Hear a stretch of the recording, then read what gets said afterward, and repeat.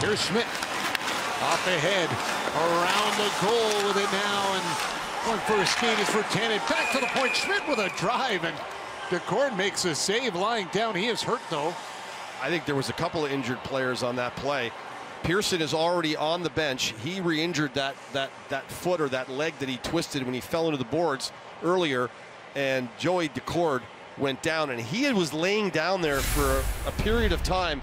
As we have a look at maybe something in the lower body area, as he comes across, oh, he twists that knee or ankle coming across, and like I said, he was down for a few seconds kept his eye on the puck and give him full credit for that. Watch the left leg. See, he bent down, and when he went to get up, he had trouble moving moving that leg back up again. And the competitor that he is, he tried to keep his eye on the puck the whole time, and eventually he made the save that that stopped the play. But he is in a lot of discomfort, and you could see the way that leg kind of bounced out from underneath him.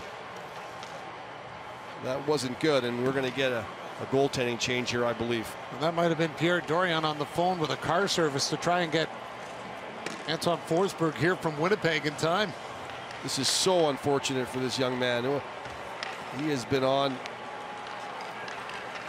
such a high since that win against the Maple Leafs and getting the tap from both benches here. And this is a unfortunate injury. Hopefully nothing too serious.